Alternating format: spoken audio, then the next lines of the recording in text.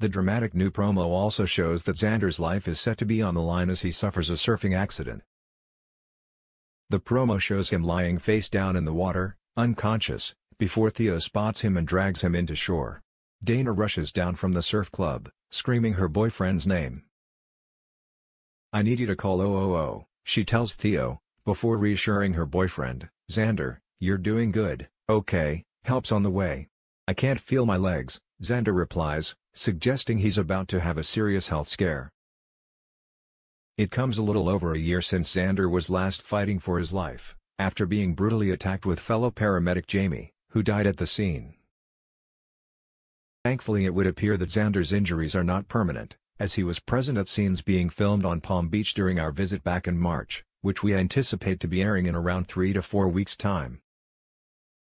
This week's episode saw Kirby enlist Theo to help get the exes back together, as Kirby invited Bree for a drink at Salt, with Theo extending the same offer to Remy. They then simultaneously stood them up, leaving Remy and Bree alone with their apparently undeniable chemistry. Rather rudimentary plan worked, and Bree and Remy ended their night in Remy's bed back at the Lyric Sharehouse. However, they had no intention of giving Kirby and Theo the credit, and instead pranked them by pretending to argue as they stormed down the stairs of Salt and out into the night.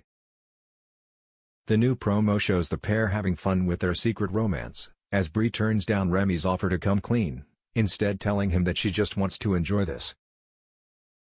We then see the pair on the back of Remy's motorbike, as Bree realizes that life's too short to let her fear of the two-wheeled death traps ruin her relationship. Yet Remy's new romance won't stay secret for long. As they speed through the roads of Summer Bay at a gentle 25 km per hour, they're spotted by Kirby, who exclaims, Who is that woman on the back of his bike?